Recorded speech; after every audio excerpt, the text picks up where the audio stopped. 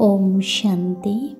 Murali date December ఇరవై ఒకటి రెండు వేల ఇరవై ఒకటి. బాబా చెప్తున్న మధురమైన మహావాక్యాలు మధురమైన పిల్లలు మీ ముఖం ఎల్లప్పుడూ సంతోషంగా ఉండాలి. మాటలలో ధైర్యం మరియు ఉత్సాహం ఉండాలి. అప్పుడు మీ మాటలు యొక్క ప్రభావం పడుతుంది. ప్రశ్న ఏ డ్యూటీ లేదా కర్తవ్యం తండ్రిది? దానిని మనుష్యులెవ్వరూ చేయలేరు. జవాబు విశ్వంలో శాంతి స్థాపన చేయడం మరియు పద్ధతి సృష్టిని పావనంగా తయారు చేయడం. ఈ డ్యూటీ తండ్రిది. మనుషులెవ్వరూ విశ్వంలో శాంతిని నెలకొల్పలేరు. కాన్ఫరెన్స్లు మొదలైనవి చేస్తారు. శాంతి బహుమతులను ఇస్తారు. కానీ ఎప్పుడైతే మొదట పవిత్రంగా ఉంటారో అప్పుడే శాంతి స్థాపన జరుగుతుంది. పవిత్రతతోనే శాంతి మరియు సంపన్నత లభిస్తుంది. తండ్రి వచ్చి ఎలాంటి పవిత్ర పవిత్ర ప్రపంచాన్ని స్థాపన చేస్తారంటే అక్కడ శాంతి ఉంటుంది.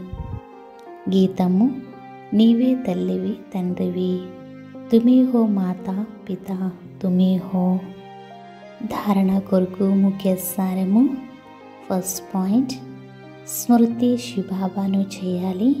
ఫాలో బ్రహ్మ బాబాను చేయాలి. బ్రహ్మ బాబా సమానంగా ఉన్నతమైన పురుషార్థం చేయాలి. ఈశ్వరి నశాలో ఉండాలి. సెకండ్ పాయింట్ తమో ప్రధానం నుండి సత్వ ప్రధానంగా అవ్వాలి.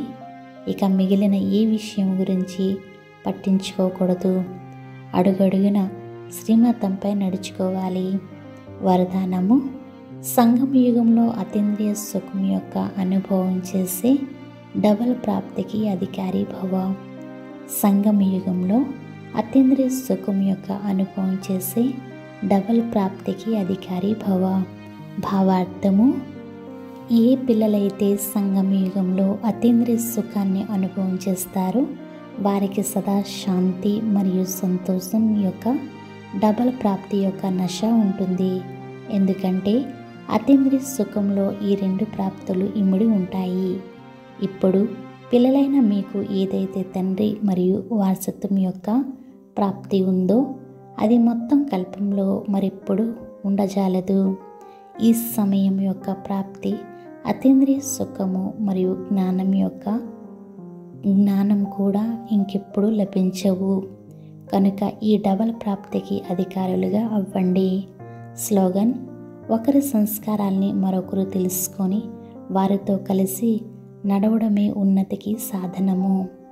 స్లోగన్ మరొకసారి ఒకరి సంస్కారాల్ని మరొకరు తెలుసుకొని వారితో కలిసి నడవడమే ఉన్నతికి సాధనము.